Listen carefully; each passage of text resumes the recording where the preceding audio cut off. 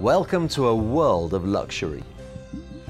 A world of exquisite Italian design and immaculate Tuscan craftsmanship. Welcome to one of the planet's most sought after super yachts. Welcome to Veni Vidi Vici.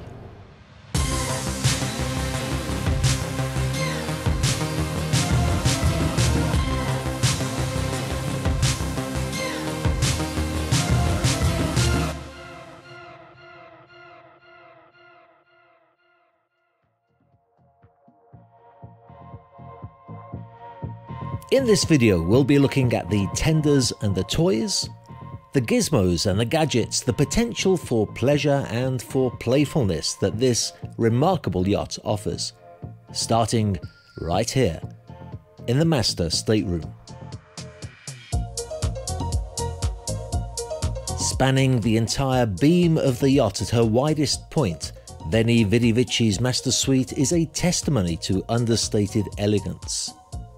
Spacious and well appointed, she offers wardrobe space and amenities for the most demanding of female companions, and an ensuite bathroom that should not fail to meet her satisfaction too. I hope for the viewers of this video that you may enjoy that master stateroom one day, but let me show you through the accommodations in case you are a guest on board. An elegant wood and leather panelled corridor leads to a stately double cabin to port, complete with ensuite bathroom, of course. To starboard, you'll pass a beautifully appointed dayhead before reaching another elegant double cabin. Moving forward, a fourth cabin appears to port, this time well suited to children since it has not just bunk beds and a single, but also a Pullman bunk to accommodate four people here.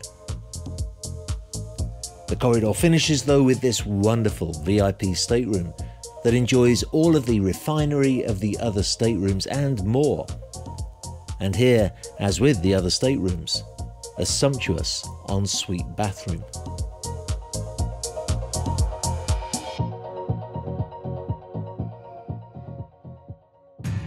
There's something about the thought that has gone into the design of the decor of this yacht that I really do like. The interiors were completely renewed this year. I mean, completely. This is all new.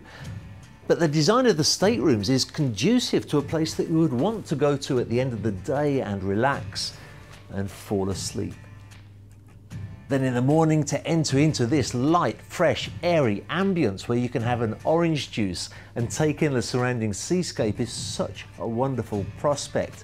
Now there is something else about this area I want to show you later on in the video, a feature that is great and very popular with charter guests. But before we do that, let's do what I think most of us would want to do at the beginning of a day on a super yacht. Let's go and play.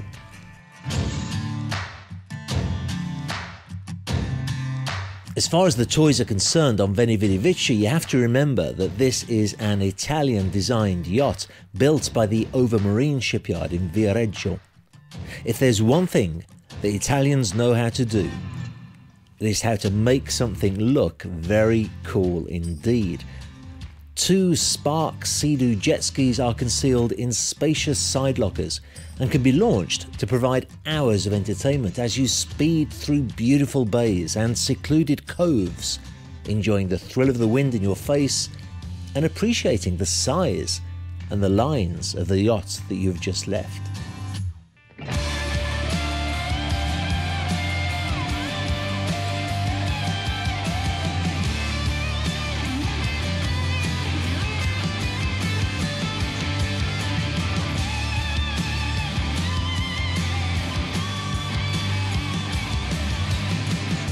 A 16 foot Castoldi jet tender fits neatly into the aft garage too to provide comfortable transport to shore or to use for exploring the local coastline.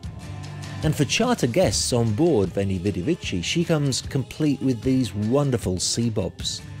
Anybody who's had the pleasure of using these will know what tremendous fun they can be.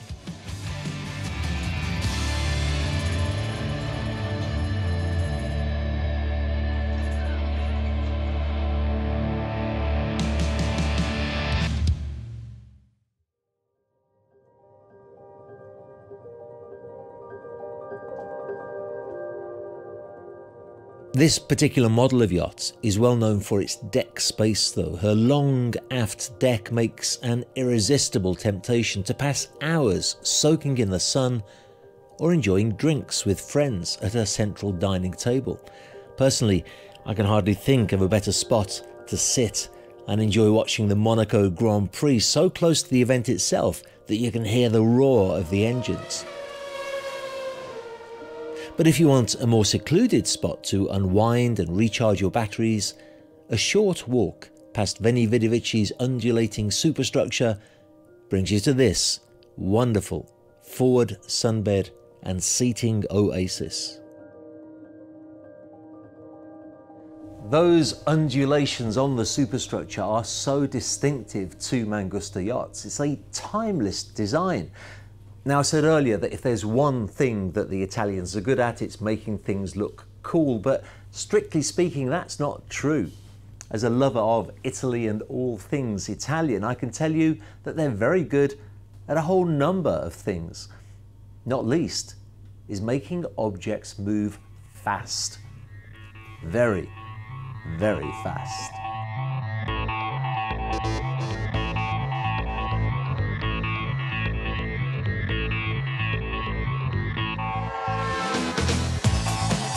And Veni Vidi Vici does go very quickly indeed.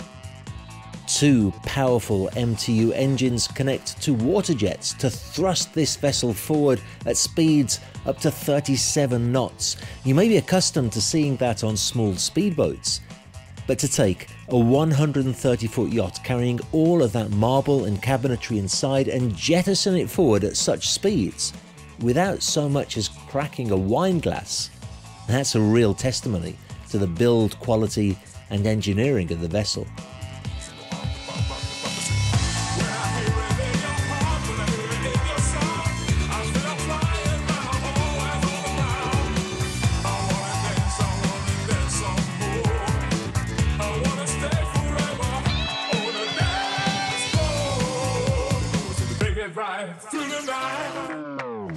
So we've established that the Italians know how to make a yacht look amazing. They know how to put it together very well. They know how to make it go very fast.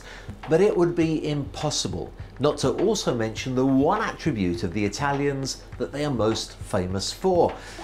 They do like their food and they know how to appreciate it. Now to fully enjoy a spaghetti allo scoglio, a spiedini di calamari, sea bass cotto sotto sale washed down by a lovely fresh glass of vermentino, you need to have a good galley. And more than that, you need to be able to create the right ambience. On Veni Vidi Vici, you can do just that.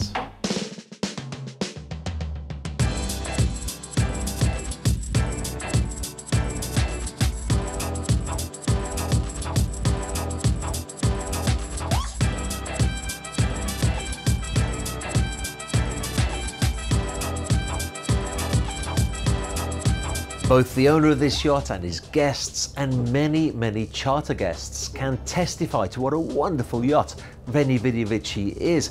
Now that she has a new interior, she stands out from the crowd of every other Mangusta 130 on the market. And she is on the market and available for sale to a new owner who can either decide to use her for his own personal use or to keep her as a commercially registered vessel that pretty much covers her running costs every year through charter. That is an amazing opportunity, and I'm delighted to represent the owner of this yacht together with my colleague Ed Dickinson. Now, our email addresses will appear on screen in a few moments, but before that, take a moment to enjoy this sensational super yacht that represents everything that is great about Italy and the Italians.